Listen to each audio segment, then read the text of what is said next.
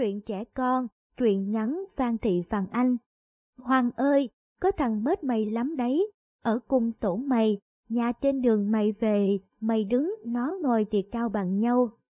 Cả bọn ngồi vắt vẻo trên lan can nhìn tôi chờ đợi. Tao biết rồi, thằng Tường chứ gì, nó đáng tuổi em tao.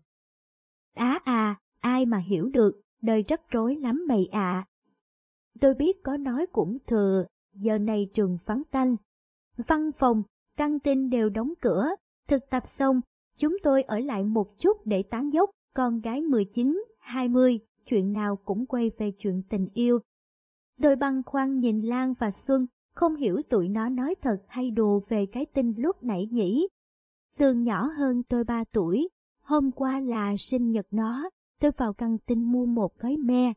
Mừng oắt con thêm một tuổi nhé. Tường không cười, chăm chú nhìn gói me. Sao lại không thêm được ba tuổi nhỉ? Vì sao hôm qua tôi lại không nghĩ gì cả? Trong thâm tâm, tôi coi nó như em, con gái trong lớp cũng coi nó như em út. Tôi đọc một quyển sách nói về tình yêu giữa một cô bé và một người đã lớn tuổi. Vì chênh lệch nên họ xưng hô là ông và em. Khép sách lại, tự nhiên tôi nảy ra ý nghĩ vô cùng bất ngờ là mình phải có một người lớn để yêu và phải hơn tôi nhiều tuổi để có thể áp dụng các xương hô của truyện. Người ta bảo con gái hay coi thường con trai bằng tuổi, và tôi, tôi đã chán cái cảnh ngồi cãi nhau âm lên với thằng bạn chỉ vì chép khác nhau một chữ trong bài. Ba tôi có mấy ông bạn chưa vợ, hơn tôi từ 10 tuổi trở lên nhưng họ nhếch nhác lắm. Ngày thường tôi sẵn sàng đi dép nọ dép kia, tóc bù xù chạy ra mở cửa, chào chú à, lấy lệ rồi biến vào trong, cả hai đều không để ý đến nhau. Bây giờ tôi phai lục lọi trí óc tìm cho được một người lý tưởng để thực hiện kế hoạch của mình. Cuối cùng tôi thay tạm được là chú Bằng, một người mới bị vợ bỏ. Không sao, như vậy càng có vẻ tường đáy hơn.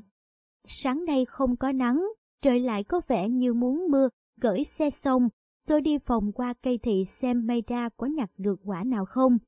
Tổ trực đêm qua đã phơ phép hết, chỉ để lại mấy quả nát bét trên sân.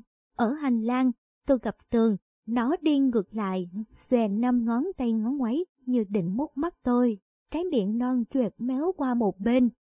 Tôi bảo, thằng điên. Tường bỏ vào túi tôi một quả thị con rồi cùng đi vào giảng đường, hai tiết đầu là sinh vật, tôi luôn luôn quên đem bút chì.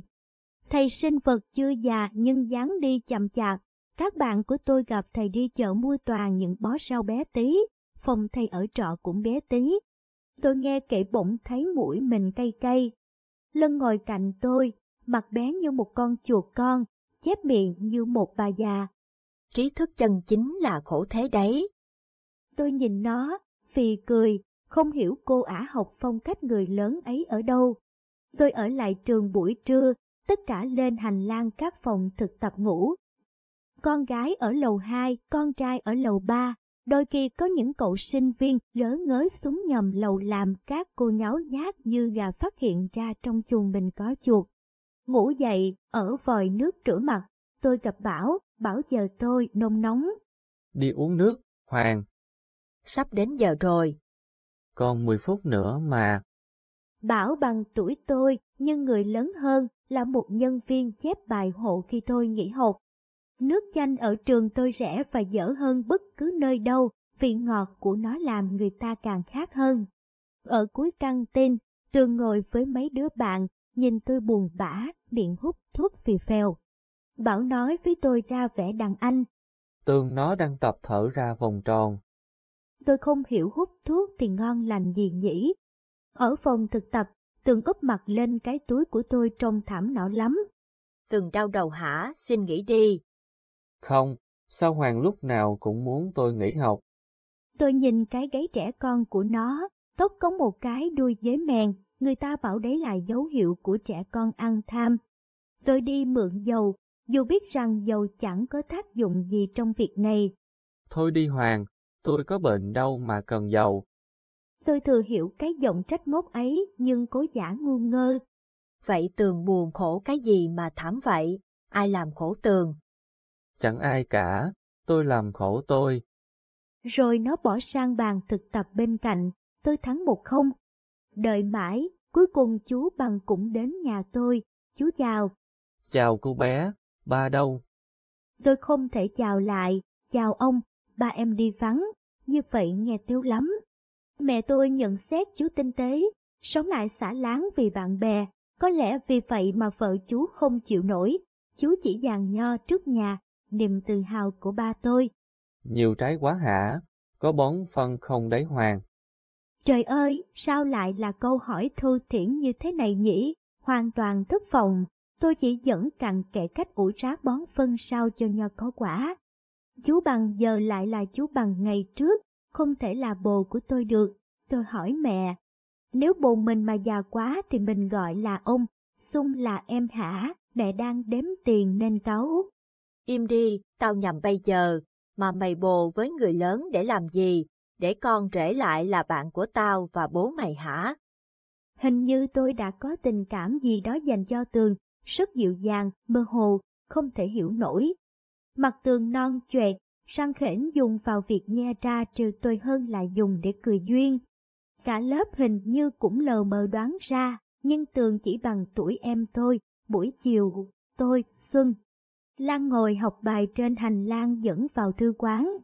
Một chỗ ngồi lý tưởng, trên đầu là tán me, nhìn xuống hồ cá như một quả tim xây theo kiểu tượng trưng, ba đứa ngồi xa nhau để tránh nói chuyện.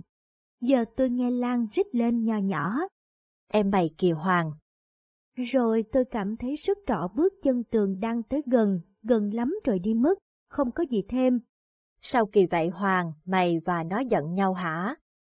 Không, quen vậy rồi, xen kẽ một ngày làm lơ, một ngày phồn vã, hai đứa điên mà. Nếu vậy, tụi mày làm vậy để làm gì? Tôi cũng chịu, không hiểu cái trò ú tim này dùng để làm gì, có lẽ cả tôi lẫn tường đều sợ người kia đoán được tình cảm của mình cho nên có ngày, cả hai cùng vui quá mức, có ngày lại lạnh như tiền. Chị tôi bảo, Đồ con nít. Tôi vặn vẹo, khi đi học, bà có vậy không? Bà chị tôi đanh mặt. Tao không điên như mày. Có lẽ tôi điên thật. Ban đêm, trường tôi như khác hẳn, vắng lặng, tự nhiên xuất hiện mấy con mèo to tướng, mắt sáng quắc, chạy vụt trong sân tối. Tôi ngồi trên bệ tường, đằng sau là cây mận tỏa hương hoa ngai ngái dễ chịu, phía dưới là vòi nước khóa không kỹ, nhỏ tí tách, tí tách. Tôi muốn ngồi một mình như thế này mãi, không phải nói chuyện với ai, thở cái không khí mát mẻ, lạ lùng của ngôi trường ban đêm.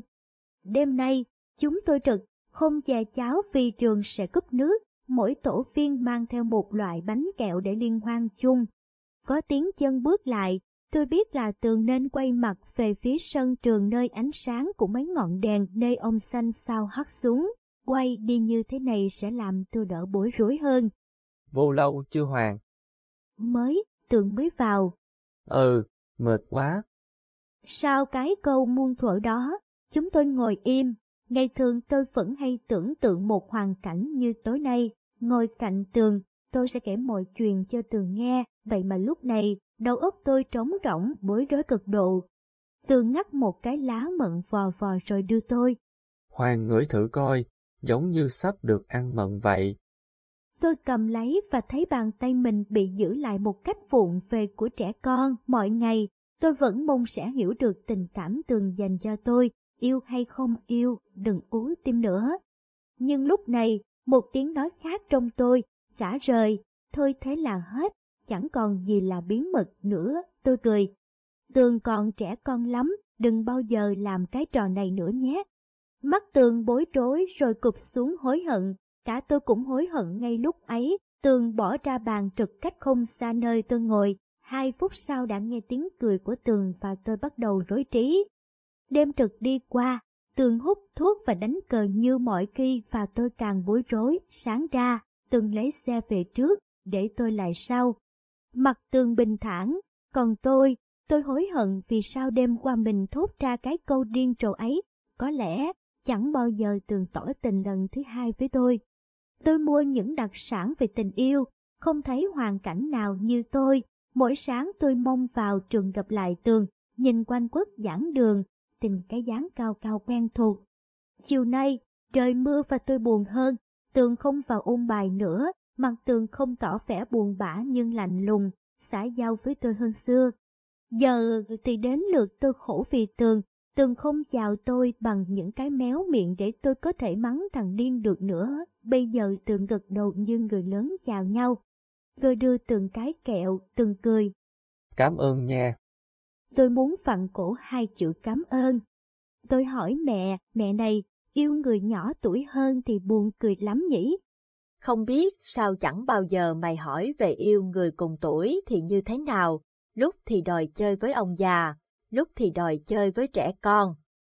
Không phải con, mẹ à, con bạn con. Mẹ ngủ rồi, tờ báo rơi bên cạnh. Ngày mai, tôi sẽ mua một quyển sổ làm nhật ký, không thể tâm sự cùng ai những trò ấm ức này.